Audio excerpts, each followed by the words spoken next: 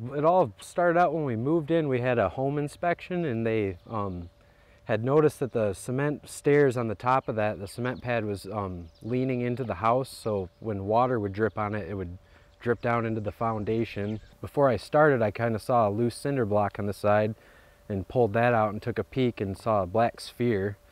So it, was, it seemed kind of odd to me. So anyway, I proceeded to demolish this um, last week and just ended up pulling ball after ball and layer after layer and felt kind of like a paleontologist sifting through the bones with my hands as a brush and was probably working on it for four hours and then looked behind me and there's just a sea of balls. So I just kind of pushing them off the ledge and trying to get them out of the way. And I plan to keep a lot of them, like some of the nicer looking ones to do some edging. My wife's really crafty and wants to do some projects like that. And then I've gotten so many ideas that, that posts that I made, I'll admit I did kind of post it on every group that I'm a part of that it was relevant, but it took off way more than I could have expected. So I've got all these people throwing all kinds of great ideas at me and I really just don't want to see them end up in a landfill somewhere.